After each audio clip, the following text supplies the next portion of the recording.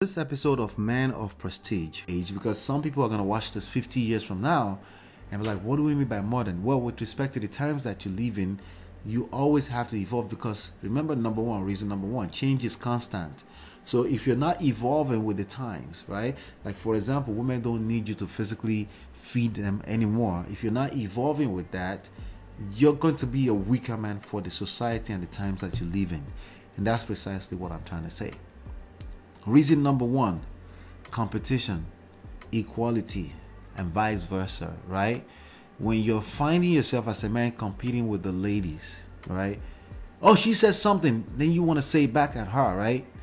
Okay, you're trying to play the equality game and it creates chaos. It's the same reason why when women bring the feminism movement into the household, into a relationship between a man and a woman from a romantic standpoint, it creates chaos. Man of prestige. Um, the modern man is weaker. Okay, the modern man is more so in his feminine than ever before. There's something called the feminine imperative. It's not necessarily your fault. There's a lot of factors that goes into that. Um, the feminine imperative is, is something that I would definitely say Google it. I think I I think I got the idea from I think I got it from the Rational Male something. I'm still reading the book by the way uh, I, I came into this space of men, manosphere, red pill, which I don't consider me uh, as a part of, by the way, because I think it's a lot of bullshit in it. But um, I came into it the, through uh, other means, not necessarily through the, rational male. I think a lot of people came in through the rational male. But anyway, there are three reasons why I think men of nowadays. I think if you read Rational Male, I recommend the book. But when you read it, don't read it one time okay? If you read it one time you will end up in uh, you will end up in anger unnecessary anger and you may get stuck there. I want you to read it multiple times until things consolidate because the person that wrote the book last time i checked is still married okay? So if you end up in anger and then you say i'm just going to disengage from relationships in general you will hurt yourself. You will still hurt yourself because you're a man like the rest of us you're a human being like the rest of us and you need love and connection that's a fact of life okay? And if you if you're fighting marriage so hard it tells me that you need to be married but not now okay? You need to consolidate a lot of that hunger um, but anyway here are three reasons why that i think men modern men are weaker. Reason number three change is constant. Men are changing. So again i'm not saying it's your fault. Men are changing. The society is changing. Things are changing. So if men are changing because like for example here's a quick example. Women don't need you from a standpoint of physical protection and provision anymore. They just don't okay? They, they, as a matter of fact a lot of them are getting paid more than a lot of men right? So what they still need however is emotional protection and provision. Only a man can bring that to most women still right? And if you don't know how to do that, then you have a serious problem in your hands, and precisely you're weaker than the men that you need to be in today's environment. The men of 1960s were what they were for the 1960s environment. In the 2022s and beyond, you need to be you need to be strong enough a man for this time and age and unfortunately, a lot of men are falling short because they think everything is facts and figures and physical and logic uh, without, and they're actively discounting feelings and emotions. That's always going to backfire, as you can see everywhere right now. Reason number two misplaced feminine energy. Okay, when you're trying to compete with the feminine energy from a woman and you call it masculine, it's called misplaced feminine energy. A lot of people call it masculine, being masculine, or being alpha, right? But it's actually misplaced feminine energy. Okay, if you feel like you have to be loud, like if you feel like you have to compete with the female uh, species, right, a female gender, right, then I'm sorry, that's misplaced feminine energy. It's okay to have feminine energy. As a matter of fact, I think all human beings have masculine and feminine energy. In the society that we live in today, men are expected to be more masculine, okay? And if you lack game, you will argue with what you're expected to be. Females are expected to be in their feminine energy, meaning they receive and multiply, right?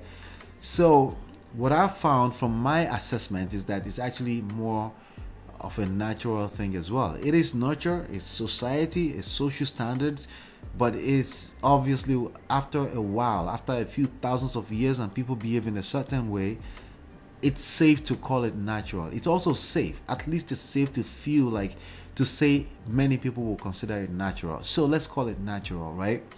But I'm telling you right now that a misplaced feminine energy, misplaced masculine energy, uh, if you're not able to handle a misplaced masculine energy as a man, you will essentially create misplaced feminine energy. And what will happen is that you are now weaker. You're weaker man. You're weaker man, considering the fact that you're a modern man. Okay, we live in the modern times, right? Modern is with respect to obviously the new age because some people are going to watch this 50 years from now and be like, what do we mean by modern? Well, with respect to the times that you live in, you always have to evolve because remember, number one, reason number one, change is constant. So if you're not evolving with the times, right? Like for example, women don't need you to physically feed them anymore. If you're not evolving with that, you're going to be a weaker man for the society and the times that you live in. And that's precisely what I'm trying to say. Reason number one competition, equality, and vice versa, right? When you're finding yourself as a man competing with the ladies, right? Oh, she says something, then you want to say back at her, right? Okay, you're trying to play the equality game and it creates chaos. It's the same reason why when women bring the feminism movement into the household, into a relationship between a man and a woman from a romantic standpoint, it creates chaos. Okay, nothing good can come out of it because by default, when you're trying to build a household from a romantic standpoint, there has to be some kind of structure. There has to be leadership. Yes, concurrently with partnership, there has to be some kind of leadership because when things go wrong, it has to fall on some kind of leadership. Also, when things go right, it has to fall on some kind of leadership. It brings structure. But again, I have to face you as a man and tell you that you get to set the tone, the woman get to build the home, right? It's the tone that you set. Typically, a woman does not have a problem with leadership unless you're actively competing with her, meaning you're playing the equality game, which only women should be playing that kind of game. You're playing that game with her. You're saying, What about? What about aboutism? What about me? What about men? If you're playing this kind of game within the context of a romantic relationship, you will create chaos and you effectively be, will be a weak man in your relationship. So this is one this is the third reason. Reason number 1 that I feel the modern man is weaker.